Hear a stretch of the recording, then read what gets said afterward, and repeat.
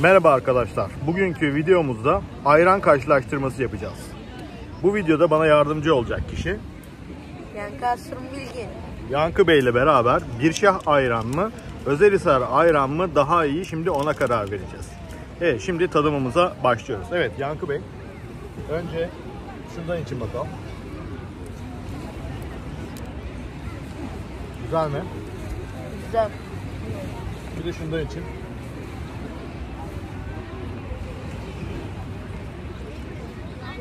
Kazanan bir şahmet.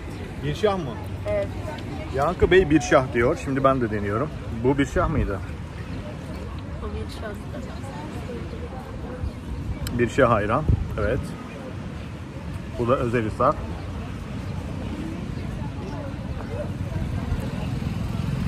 Bir şaha bir daha bakalım. Özelhisar'a bakalım.